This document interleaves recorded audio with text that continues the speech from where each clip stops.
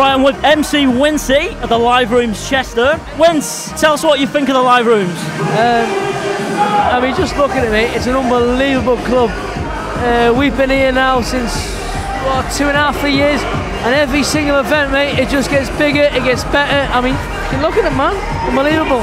Wince, what does it feel like when you're performing on the stage? When I perform on that stage, unbelievable. They all know my rhymes, they all hyper me. You'll probably see for yourself tonight, it goes fucking mental.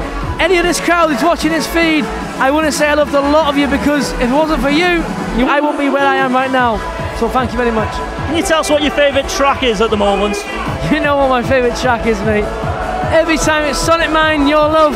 Uh, you might have seen it tonight. Me and Joe, we always do it. The wink, he's putting it on, and I'll go for it. There's loads of new stuff in Bounce at the moment. There's loads and loads of new good stuff coming out.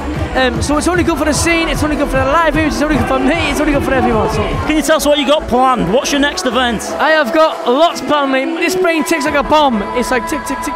I'm already planning next year, and it's fucking massive, man. But coming up is possibly our biggest lineup I've ever done. Uh, it's, it's, it's at least on par with the fifth birthday. So we have got here in the live rooms, December 21st, Mad Friday, the- bouncing featuring Dosa Donk. Our bouncing is fucking round, man. All these balconies are fucking round. We are, it's, it just goes off. And Dosa Donk are something a little extra bit special. Uh, they come here last year, and my gosh, they took the roof off. They took the roof off, man. Uh, finally, Wincy, can you tell us what you thought of tonight's crowd? you probably hear for yourself, they're fucking wild, mate, and I, I love them, mate.